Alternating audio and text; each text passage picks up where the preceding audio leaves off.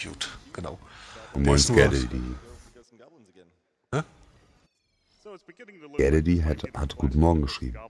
Nee, ich meinte Black Execute. Ja, ja, ja, ja, ja, Achso. ja, alles gut, das war separat. Ach so, ah, okay, okay. Ich dachte, das bezog sich noch darauf. So, äh. Geht's jetzt los? Ja, jetzt geht's, oder? Hoffen wir es. Ja gut, erstmal kommt natürlich noch der Vorspann, äh, dass die Freundin wird entführt. Also von die Freundin von äh, Sir Arthur, den wir hier spielen. Und los. Okay. Ähm, ja, Spielprinzip ist relativ schnell erklärt. Man läuft halt, man kann springen. Hier in dem Teil gibt es übrigens keinen Doppelsprung. Es gibt äh, so ein paar äh, Ghouls and Ghosts bzw. Ghosts and Goblins Spiele, bei denen es auch einen Doppelsprung gibt. Hier noch nicht. Ähm, ja, das, deswegen haben wir halt nur einen normalen Sprung, das normale Laufen und wir haben äh, eine Waffe, in dem Fall im Moment die Lanze. Äh, es gibt noch ein paar andere Waffen, gehe ich aber nachher nochmal drauf ein. Und das Prinzip ist einfach von, von links nach rechts oder teilweise auch von unten nach oben durch die Level durchzulaufen. Also ist nicht immer strikt von links nach rechts alles. Äh, wir haben am Anfang eine Rüstung gehabt. Jetzt haben wir übrigens auch wieder eine. Sobald wir mit der Rüstung einmal getroffen werden, verlieren wir die Rüstung. Wenn wir dann nochmal getroffen werden, solange Arthur halt da in Unterwäsche rumrennt, oder in Unterhose, um genau zu sein, ähm, ja, sobald wir dann getroffen werden, sterben wir. Und das äh, wollen wir natürlich nicht, logischerweise. Logischerweise. Ähm, kann man hier auch die, die Armors upgraden? Äh, nein, kann man hier in dem Teil noch Okay. nicht. Das kam auch erst in späteren. Also falls jemand äh, Ghosts and Goblins noch nicht gehört hat, aber Ghouls and Ghosts, das ist halt quasi dasselbe. Nur die Ghouls and Ghosts Dinger, das sind halt Ableger für andere Plattformen. Aber es ist prinzipiell dasselbe. So, äh, erstes Level haben wir geschafft. Es gibt insgesamt sechs Level plus, äh, ja, technisch gesehen noch ein siebtes Level, das ist aber nur noch der letzte Bosskampf. Ähm, und wir haben die Kategorie Two Loops, wie man oben äh, Ja. ja. Unter dem Titel ganz gut sieht. Two Loops bedeutet einfach, ähm, es gibt in dem Spiel ein falsches Ende, wenn man einmal durchgespielt hat, dann kann man aber das Ganze nochmal durchspielen und dann kriegt man erst das wahre Ende zu Gesicht. Ah, okay. Ist im Endeffekt genau dasselbe, halt wir, wir sehen im Grunde den ganzen Run zweimal, ähm, aber ja, dann haben wir halt das, das wahre Ende. Ah, So, okay, das, das war jetzt ein bisschen doof, dass er da die Rüstung verloren hat, weil, ähm, also das war eben so ein bisschen RNG-abhängig. Die Gegner bewegen sich halt immer so ein bisschen nach RNG. Jetzt muss er da einen kleinen Umweg gehen, um eine Rüstung nochmal aufzusammeln. Und zwar da, weil er da äh, oben rechts jetzt gleich einen kleinen Skip machen wird. Damage Boost wahrscheinlich? Ja. Genau, Damage Boost. Und zwar stellt er sich an diese Wand, lässt sich vom Vogel treffen und ist oben auf der Kante drauf. Ansonsten hätte er da den ganzen Weg runtergehen müssen. Ich zeig da gerade mit dem Finger hin, ihr seht das doch gar nicht. Wow. Egal. Ähm, werden wir in einem späteren Level auch öfter noch sehen. Da sieht sogar noch ein bisschen komischer aus. Aber äh, ja, grundsätzlich ist, ist das schon so ziemlich der. Oder? Ja, das ist eigentlich der größte Trick, den es in dem Run gibt. Was ich halt super genial finde, dass du die Firebrands siehst, ne? Die sind doch die Gargoyles. genau. Ja, doch Firebrands hießen sie. Ja, ja, Firebrands. Äh, stimmt, auf die bin ich jetzt noch gar nicht eingegangen, obwohl man sie schon gesehen hat. Übrigens hier der erste Boss das zweite Mal und diesmal in doppelter Form. Da sind sie sehr, sehr kreativ gewesen. Allgemein, was die Bosse angeht, da gibt es äh, ein, zwei, drei verschiedene plus den letzten Endgegner. Oder waren es vier verschiedene? Ich bin mir gerade selber nicht ganz sicher. Ähm, 19. auf alle Fälle nicht, nicht allzu viel Variation. So, Level 3 ist äh, so mit das schwerste Level im ganzen Run. Einfach, man, man sieht es am Anfang schon, es ist halt eine ganze Menge los. Man muss halt äh, sehr präzise springen, sich ducken, was auch immer, je nach Situation. Ähm, und in dem Level ist es halt besonders schlimm. Das Geld ist übrigens nur, äh, Punkte wahrscheinlich. genau, nur Punkte. Das bringt einem so überhaupt nichts. Man hat unendlich Continues, aber gut, das sollte in dem Run hier keine Rolle spielen. Ähm, ja, was, was er eben auch schon erzählt hat, äh, ich hatte ja vorhin auch schon mal gesagt, es gibt halt noch verschiedene Waffen neben der Lanze. Ähm, es gibt auch die Fackel und die hat er jetzt bewusst nicht eingesammelt. Ähm, das liegt einfach daran, dass die Fackel scheiße ist. Er wird sie wahrscheinlich, ja, äh, ich sag auch gleich warum. Er wird sie wahrscheinlich aber später trotzdem einsammeln, weil die gegen diese äh, Firebrands hier, also gegen diese roten Dämonen, ähm, Gargoyles. An, an, ja, Gargoyles, äh, Gargoyles, Demons, ist, ist ja egal. Nee, auf alle Fälle ähm, gibt es da bestimmte Techniken, mit denen, äh, bei denen die Fackel halt gegen die besonders gut ist. Wichtig zu wissen ist, dass ähm, egal welche Waffe man hat, die machen alle gleich viel Schaden. Nur die, Echt? die ja, ja, die, die machen tatsächlich alle gleich viel Schaden. Äh, die Lanze, die kann man halt nicht ganz so schnell werfen. Ja. Ja, aber das ist so, so ein gutes Mittelding. Die beste Waffe so grundsätzlich ist der Dolch, weil man den ganz schnell werfen kann. Ähnlich wie bei Castlevania übrigens. Mhm. Äh, Und deswegen kann man halt äh, pro Sekunde mit dem trotzdem noch mehr Schaden machen, wenn man halt schnell genug die entsprechende Taste drückt. Ich weiß, vom 1er gibt es eine Art Remake. Ich glaube auf dem SNES. Kann das sein? Äh, es ist kein richtiges Remake. Ja, oder Es halt basiert, Neuauflage. ja, ja, es, so. es basiert darauf. Es gab aber auch auf dem Mega Drive, also Genesis, Mega Drive, ähm, gab es halt auch. Das. Hier sieht man übrigens jetzt gleich so, einen- so einen kleinen, äh, ja, Glitch, der an sich in dem Moment überhaupt nichts bringt. Wow. Das sieht halt einfach witzig aus. Er steht einfach in der Luft jetzt, ja. Aber wie gesagt, das bringt überhaupt nichts, weil er eh auf der Plattform darunter landen muss. Und da hätte er auch genauso gut unten stehen bleiben können. Nee, deswegen meine Fragen beim Rüstungsupgrade, weil das hatte ich halt schon mal gesehen bei einem. Äh, Ja, ja. Hm. Nee, das, das, äh, also auf dem Mega Drive gab es das auf jeden Fall. Äh, auf dem SNS glaube ich auch, aber da bin ich mir gerade nicht hundertprozentig sicher. Okay. So, ähm, ich bin ja gerade bei den, bei den Waffen gewesen. Ich will immer Subweapons sagen, wegen, wegen Castlevania. Ja. Das sind ja hier keine Subweapons, sondern das sind ja die Hauptwaffen. Ähm, da hat man es bei der Flamme gerade gesehen, die, äh, wenn man die auf den Boden wirft, dann brennt die halt noch eine Weile. Klingt erstmal geil, ist aber ziemlicher Scheiß, weil man in der Zeit keine weitere Flamme werfen kann. Wow. Und da ist man halt wehrlos. Deswegen gilt die äh, Flamme halt als so ziemlich die schlechteste Waffe im ganzen Spiel. Und es gibt noch den Schild. Ähm, werden wir später auf jeden Fall auch sehen, weil man den letzten Boss nur mit dem Schild besiegen kann, was man auch erstmal wissen muss. Was auch ziemlich fies ist, meiner Meinung nach. Ja. Ne, auf alle Fälle äh, der Schild, der, äh, ja, ähn, ähnlich wie die Lanze, sage ich mal so. Also da gibt es keinen großen Unterschied. So, jetzt werden wir hier den nächsten Damage Boost sehen. Und zwar lässt er sich da einmal treffen und kann die Plattform direkt hoch. Ansonsten hätte er da rechts jetzt Ewigkeiten lang gehen müssen. Okay, die Dings. So. Hat er Ach nicht ja, die- die Axt. Die Axt. Die Axt gibt's ja auch noch, ja, die, die ist halt auch ziemlicher Mist, äh, einfach weil die in einem sehr blöden Winkel geworfen wird. Und äh, die geht durch Gegner durch, also kann mehrere Gegner nacheinander treffen, was natürlich auch erstmal cool klingt. Aber äh, das bedeutet auch, dass die, wenn sie einen Gegner trifft, nicht sofort verschwindet. Sprich, man kann halt nicht sofort die nächste Axt werfen. Dann bist du direkt wieder ausgeliefert, ne? Ja, ja, eben. Ja, da, bei Moin, der Axt muss, Morgen. Also bei der Axt muss man halt auch relativ lange warten, bis, bis die dann halt, ähm, ja, bis man da halt die nächste werfen kann. Ja. Nicht Okay, ganz so schlimm wie die Flamme, wenn sie auf dem Boden aufkommt, aber trotzdem noch nervig. Ja klar, aber das kann dich halt trotzdem ruckzuck das Leben kosten. Ja. Eben. So, nächster Boss.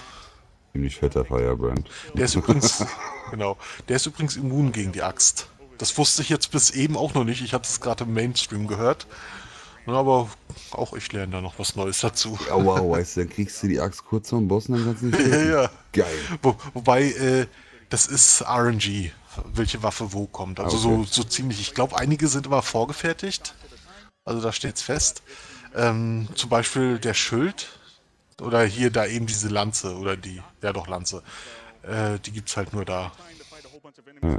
So, hier muss er jetzt ein bisschen warten, bis der Gegner auf ihn zugerannt kommt, damit er sich da hochboosten kann. Also Oh, da Damage boosten kann. Ja. Und den, den Schild wird er jetzt auch einsammeln, aber erst nachdem er den Gegner dann besiegt hat. Okay, er wie- schmeißt einfach ein Schild, okay. Genau. Ja, ja, er schmeißt einfach ein Schild. So, und hier wird er jetzt äh, die Rüstung einsammeln. Ah, und äh. Ah, okay. Ah, das, das war jetzt blöd. Er wollte nämlich eigentlich auf die linke Seite und da einen Damage Boost nach oben machen. Da hätte er jetzt den ganzen Abschnitt in der Wand hochspringen können. Sehen wir vielleicht im zweiten Durchlauf nachher? Wie gesagt, wir werden es ja eh zweimal sehen, das Ganze. Das ist halt wieder cool mit dem Two-Loop. Ja, ja. Oh, da ist er gestorben. Ja. ja, das passiert halt mal. Aus welchem Jahr ist das Game? Äh, 86, genau. Steht auch oben links im Overlay, also im Layout drin. Release the Ear. Genau. Ah, die, die, die, andere Waffe hältst, behältst du auch, okay. Ja, die, die behält man auch. Das ist übrigens auch der einzige Unterschied beim, beim äh, zweiten Loop nachher.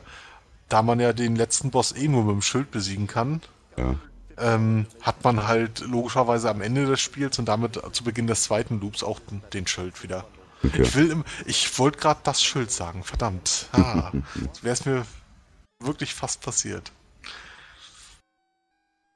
Guck mal, was jetzt falsch Da, da noch mal rüber. Oh, er versucht Okay, er versucht es gar nicht erst. Okay. Okay, das, das wundert mich jetzt ehrlich gesagt ein bisschen. Na gut, aber dann hat er jetzt hier wenigstens äh, die Rüstung auch noch in dem Ja. Abschnitt. Okay, er versucht nochmal einen, einen anderen Boost, der wohl ein bisschen leichter ist, aber halt auch länger dauert. Den kenne ich jetzt selber nicht, weil, weil ich den halt in seinem Run nicht gesehen habe. Da hat er ja logischerweise den, den eigentlichen Damage Boost gemacht, den, den er beim ersten Mal hier auch probiert hatte. Erfolglos. Ja, okay, hey, der war doch jetzt gar kein Boost. Egal. Okay, So, ja, bei, gut. bei den Gegnern äh, wird er jetzt ausweichen am Anfang und sich ganz nach rechts stellen und umdrehen und einfach nur werfen. Die kommen da nämlich nicht hin. Die sind ihm jetzt hilflos ausgeliefert Ja, gewesen. gut ausnutzen äh, der Spiele Gegebenheiten. Kann man, Genau. ja, kann. So ungefähr, ja. So, und dann sind wir jetzt beim Final... Hä? Moment. Ja doch, Level ja, sechs, beim finalen Boss, ja, das war Level 6 eben, genau. So, und der wird jetzt äh, am Anfang über uns rüberfliegen. Äh, Quatsch, nee, das war ja der letzte Boss, Entschuldigung, ich habe Blödsinn erzählt. ähm, nee, der, der schießt halt einfach auf uns. Und wie gesagt, den kann man halt nur mit dem Schild besiegen. Und wenn man mal bedenkt, dass, dass das Schild eigentlich eine ziemlich miese Waffe ist und man den als, als Anfänger von dem Spiel, äh, gut, als Anfänger kommt man eh nicht bis dahin, davon mal abgesehen, aber äh, dass, dass man, wenn man halt, äh, weiß ich, äh, den, den Dolch die ganze Zeit hat und dann beim letzten Boss plötzlich steht und, und merkt, na, der Dolch bringt einem gar nichts bei dem, Na klar. ist natürlich ein bisschen doof. So, und, und wie gesagt, also der zweite Durchgang Oder ist im Grunde dasselbe. Ach so, ah, okay. Jo, der Attack Speed, also der, Speed ist nicht schlecht. Ja. Ähm, es sind übrigens ein paar mehr Gegner jetzt. Also äh, es ist halt ein bisschen, es wird halt ein bisschen härter, aber prinzipiell ist es halt genau dasselbe wie beim ersten Mal. Okay. Wir sehen dieselben Level wieder und äh, ja, Nur quasi ein bisschen schwerer bei mehr Gegner. genau. Ich bin auch der Meinung, dass es bei einigen äh, Ghouls und Ghosts, Ghost-Teilen, ich glaube auf dem SNS sogar das Ding, dass es da so gewesen ist, dass man beim ersten Mal durchspielen eine besondere Rüstung bekommen hat. Und wenn man mit dieser Rüstung dann durchgekommen ist, sprich im zweiten Durchgang nicht einmal getroffen wurde, erst dann hat man das richtige Ende gehabt. Wow. Ich glaube, ich bin mir da nicht mehr ganz sicher. Das wäre hart. Also da muss Ja, das. Spiel auch wirklich gut beherrschen. Oh ja. Aber zum Glück ist es hier nicht so. Dann wäre Ja. das Spiel wahrscheinlich auch sehr marathonuntauglich. Zumindest in, im Two-Loop. So, da haben wir nochmal einen ersten Boss. Schlüssel einsammeln. Den Schlüssel müssen wir übrigens immer tatsächlich physikalisch einsammeln, sprich, äh, wir müssen ihn berühren. Ich finde es übrigens immer so niedlich, wie er sich am Ende freut. Die Arme hoch. Ja, ja, hey. So, dann geht's jetzt wieder ins zweite Level. Logischerweise. Das war jetzt so eine Aussage, die war vollkommen unnötig gerade. Typischer wenig. Ja, ja, ich weiß. So, da einmal rüberspringen, hier runterfallen lassen, springen. Die Plattform da ist auch ein bisschen fies. Wie hieß So. denn das, das, das Gameboy-Spiel, wo du Firebrand gespielt hast? Gargoyles Quest? Gargoyles, genau. Gargoyles Quest, genau. Bin ich auch damals verzweifelt auf dem Gameboy. Ja, ja. Nee, also diese äh, Firebrands, also diese roten Dämonen, äh, so, so ziemlich die nervigsten Gegner hier im ganzen Spiel, die sind damals so beliebt gewesen. Ah, okay, das ein Damage Boost, den ich selber noch nicht gesehen habe. Aber so ähnlich funktioniert der im, im sechsten Level auch später. Mhm. Okay, aber das, das war cool. Ich weiß gar nicht, warum er den sonst nicht macht. Ach so, ja klar, weil im, im äh, zweiten Loop ja mehr Gegner kommen. Hm. Und da kam nur dieser eine, also nur da kam dieser eine Gegner, den er dafür brauchte. Ähm, Ne, was? Achso, hier wegen, wegen dem Firebrand, also wegen diesen Dämonen. Also die sind damals halt äh, so beliebt und so kultig gewesen, dass sie halt eine eigene S- Spielereihe bekommen haben. Die war sogar echt sehr erfolgreich. Ja, ja. Hm? Die war auch gut, davon mal Ja. abgesehen. Also nicht umsonst so erfolgreich geworden.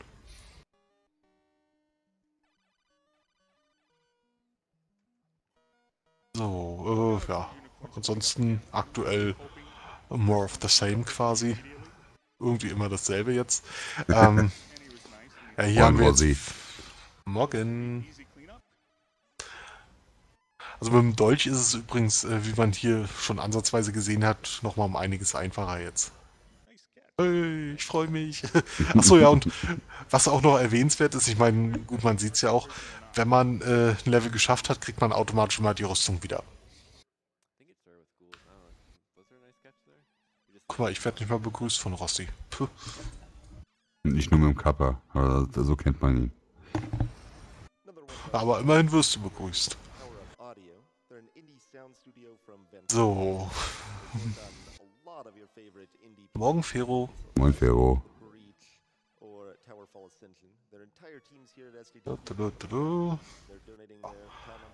Ansonsten äh, ist jetzt eigentlich eine gute, ein guter Zeitpunkt, um irgendwelche Fragen zu stellen. Weil, wie gesagt, ist halt der zweite Durchlauf, der äh, genau dasselbe ist wie der erste. Also, Arthur betet die Sonne Wow, an. praise Wow. the sun.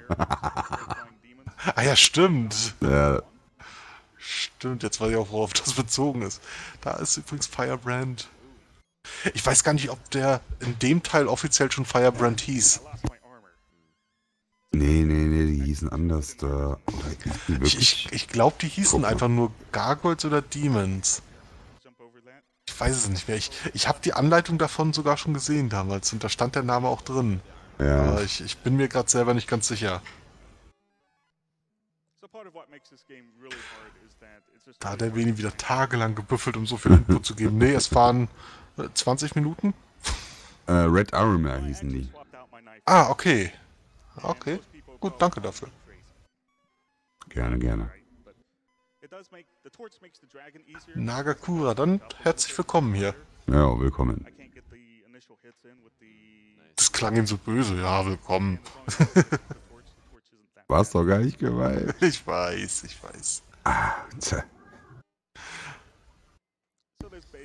So, jetzt kommen wir wieder ins Plattformlevel. Kennen wir auch vom letzten Mal noch. Was ich Ist ja erst 10 Minuten her. ja, ja, eben. Aber wenn man mal überlegt, eine Estimate von 25 Minuten und effektiv wird das Spiel in der Zeit zweimal durchgespielt. ja, das ist übel. Sinnbildlich für Speedruns. Ja. Wobei das Spiel ist halt allgemein auch nicht allzu lang, muss man ja auch mal Ja, dazu sagen. weißt du, wenn man so guckt, dann denkst du, oh ja, ist eigentlich super einfach, kannst auch mal zocken. Und dann, ja, vergiss es. Mm, Nix da. Also ich, ich hab's mir, ich habe mir ja das Let's Play von Funk auch angeguckt davon. Ähm, er ist da relativ gut durchgekommen. Es gab so ein paar Stellen, wo er richtig Probleme hatte. Ähm, das Ende, das hat ihm richtig Probleme bereitet. Es gibt übrigens, ähm, man sieht's oben links, es gibt übrigens auch ein Zeitlimit in dem Spiel. Macht natürlich im Speedrun jetzt äh, keinen Unterschied. Wenn doch, dann sollte man das Spiel nicht unbedingt speedrunnen. Ähm, aber äh, ich weiß, Funk hatte im letzten Level eine Taktik probiert, dass er halt erst das ganze Level gesäubert hat, dann den Schild eingesammelt hat und dann nach oben gegangen ist. Und da hat ihm das Zeitlimit wirklich einen Strich durch die Rechnung gemacht teilweise. Okay. Und moin, Glasperlenspiel. Die sollen mal... Ah, morgen, genau. Die sollen mal Battletoads speedrun. Ja, wurde tatsächlich schon ein paar Mal gezeigt. Die verschiedenen Battletoads. Gerade von TMA. Genau. Das hatten wir doch beim, äh, beim GSM, wollte ich gerade sagen. Nee, da war es bestimmt nicht. Äh, wo waren das das letzte Mal? Das ist doch nach dem AGDQ noch gewesen, ne? Hm, ich glaube. Oder war das auf dem AGDQ? Mir kommt das so vor, als wenn das noch nicht so lange her ist. Auf dem SNES, äh, oh Gott, welch- Battletoads und Battlemaniac war das, glaube ich, ne? Ich weiß es jetzt nicht genau. So, mal schauen. Ach, naja gut, jetzt kommt erstmal der äh, Damage Boost hier wieder. So, hat er geschafft. Der ist auch nicht allzu schwer, also wenn man das Timing halt drauf hat. Ich weiß jetzt gar nicht, warum er äh, den Goldsack da eben eingesammelt hat, ehrlich gesagt. Hm. Weil da ist er for extra zu, Ich weiß es nicht. Aber da ist er ja wirklich äh, extra hingerannt noch. Da hat er einen kleinen Umweg genommen für. Bin gespannt, wie das neue Battletoads wird. Ja. Ach stimmt, stimmt, da ja, ja, gibt's ja tolle Neues. Ja, ja. so, ähm, ja, weiter geht's den Turm hoch. Laufen, laufen. Ich finde allgemein die Anim- Animationen im Spiel so, so niedlich. Aber so typisch NES halt. Das stimmt wohl. Aber gerade die Stelle hier, da sind keine Gegner, da ist... Im Grunde ist es wirklich nur Hochrennen. Oh ja, Wie Batman. Ah, das, das Problem bei, bei dem Boss, äh, also von, die Bosse haben ähm, allgemein so, so einen gewissen RNG-Faktor, also das, das Muster, in dem die sich bewegen, das kann sich ein bisschen ändern. Und bei dem Boss ist es halt am schlimmsten, weil der äh, hoch oder tief fliehen kann am Anfang. Mhm. Und wenn man dann halt keine Rüstung mehr hat, und normalerweise hat man da ja keine Rüstung, also zumindest im Speedrun nicht, weil man die ja hier an der Stelle verliert. Okay, das haben wir ganz schön ins Auge noch. Er hat den Geldsack schon wieder eingesammelt. Mhm. Vielleicht irgendeine RNG-Manipulation, ich weiß es ehrlich gesagt nicht. Nee, aber äh, na gut, hier ist noch ein Gegner, aber ab jetzt war es glaube ich schon gegnerfrei, ne? Komplett. Ja. Ja. Ja, und, und ähm, ja, deswegen ist halt der, der Boss halt ein bisschen tricky in dem Speedrun. Einfach weil man halt ohne Rüstung bei dem ankommt. Moin, Und dann-. Morgen. Und wenn man Pech hat, dann äh, fliegt der halt genau so, wie man es nicht haben will am Anfang. Ja.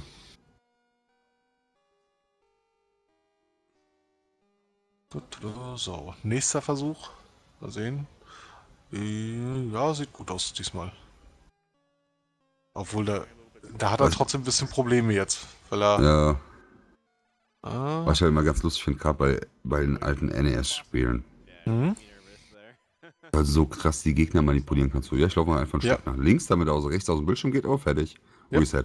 Es ist halt so Das, genial. das, das ist auch der, der Trick ähm, bei Ninja Gaiden an dieser einen Stelle, Ja. ähm, die ich vorhin ja mal kurz erwähnt hatte. Äh, dieser richtig schwere Sprung da in äh, 6-2. ja. Da kann man nämlich auch einfach äh, ein Stück nach links gehen und dann ist der Gegner rechts aus dem Bild raus und dann kommt er auch nicht wieder. Dann ist er halt despawned.